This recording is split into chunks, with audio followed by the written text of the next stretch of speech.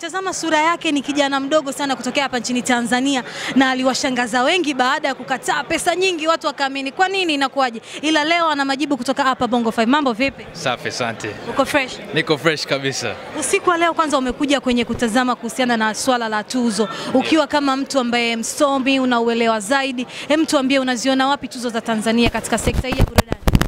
Mimi nafurahi sana kuwa na event kama hizi. Unajua inatia moyo wasanii sana, inawasaidia kwa sababu unajua ukiona kazi zako alafu zinakuwa recognized hapa nchini kwanza, inakutia moyo, the next year unajitahidi zaidi na zaidi. So mimi nafurahi sana kuna event kama hizi kusaidia wasanii na uh, actors and actresses ya bongo, bongo movies nzuri sana.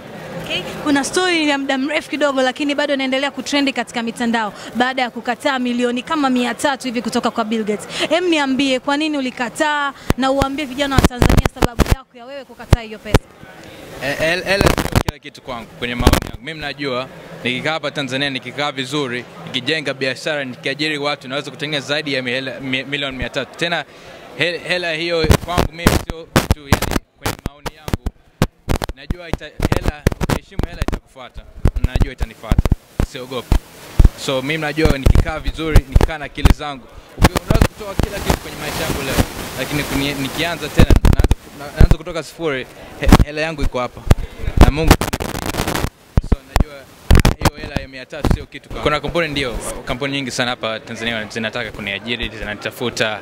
Uh, niko tayari kuwasaidia. Tena mimi napenda kusaidia wajasiriamali wadogo wadogo. Kuna vijana wengi hapa Tanzania wananifahamu, nawasaidia, nafundisha. Nimeshafanya semina 26 watu jumla elfu mbi- elfu ishirini na mbili wamefika tangu nilivyorudi ndani ya siku mia mbili. Kwa mimi nimefocus vijana sana, kwa sababu najua ukijenga vijana unajenga nchi, na hiyo ni lengo yangu.